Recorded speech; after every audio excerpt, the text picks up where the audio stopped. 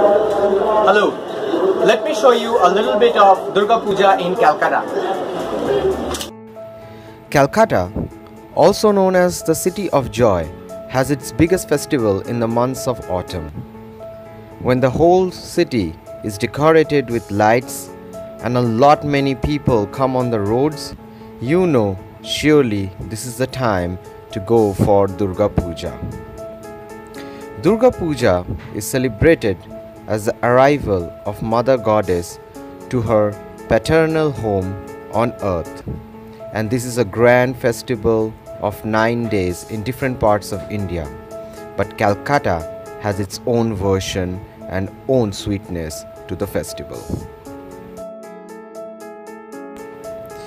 Durga Puja mainly consists of four important days the 7th, the 8th, the 9th, and the 10th.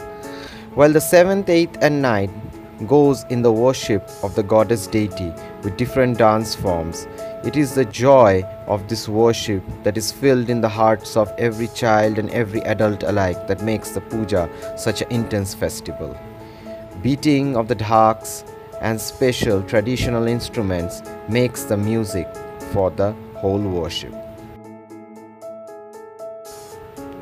Like any tradition of India, during the special ceremonies, all the women and men wear their traditional attire and look beautiful.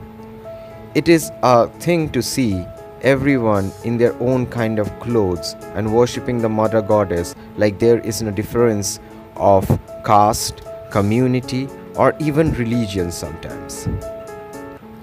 The whole city comes alive as people come on the road to do pandal hopping. Pandal hopping is a famous way of going from one temple to another to see Durga Puja.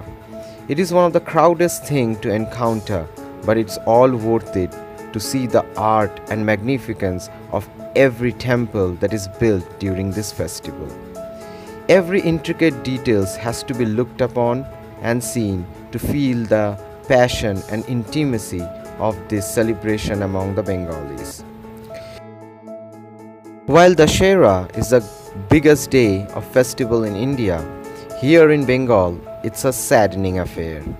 The mother goddess who comes once in the year from Himalayas to visit her parents has to go back on this day and the woman bid her adieu safely and the men by doing their traditional Dhunuchi dance, hoping that she returns back happily again after one year and comes with the bundle of joy and happiness she always comes.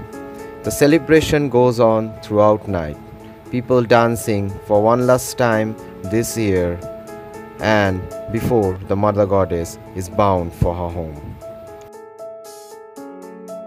The last act of the puja has to be the immersion of the idol. Keeping creation and destruction in balance, the clay idol is immersed in the water bodies nearby to end the great Durga Puja for a year. And taking the blessings and joy and happiness for this time, I am not sure if I'll be able to miss this puja again next time and come back to Kolkata soon.